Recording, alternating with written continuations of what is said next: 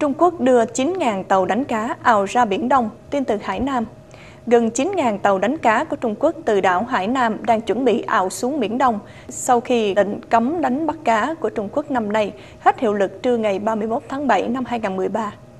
Từng hoa xã loan báo như vậy và nói rằng hơn 35.000 ngư dân trên đảo đã neo tàu từ ngày 16 tháng 5 khi nhà cầm quyền ra lệnh cấm đánh bắt cá 3 tháng rưỡi.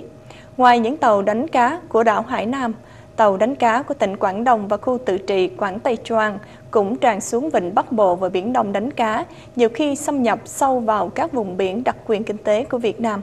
Theo bản tin này, 80% của các tàu đánh cá Trung Quốc tràn xuống Biển Đông là từ thị trấn Đàm Môn, thành phố Cảng, Quỳnh Hải, phía đông đảo Hải Nam.